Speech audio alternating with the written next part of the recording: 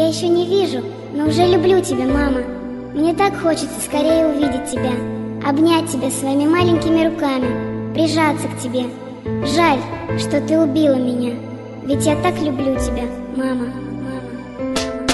А что дальше? Дни и ночи, воспоминания, то, что было разрушено до основания, не вернуть с годами, не просить прощения тому, кем было предано. Самое священное первое слово «мама», а он не мог защититься, не мог просить помощи, не мог понять просто, как же так можно, ведь он любил всем своим существом, а потом только боль, только боль, только боль.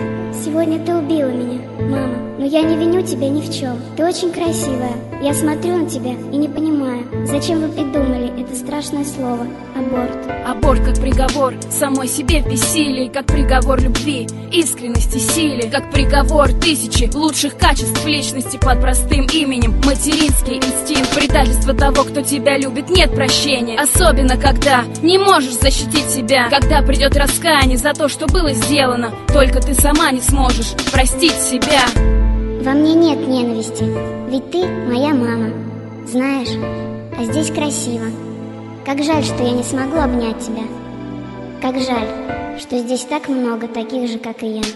Убийство есть убийство, как ни назови его Убийство ребенка это самое страшное Опомнитесь, люди, ведь страшнее нет ничего Чем убийство того, кто нас любит Разве есть прощение тому, что было сделано Когда было предано Самое священное, самое великое Самое первое, безмерно любимое слово маму.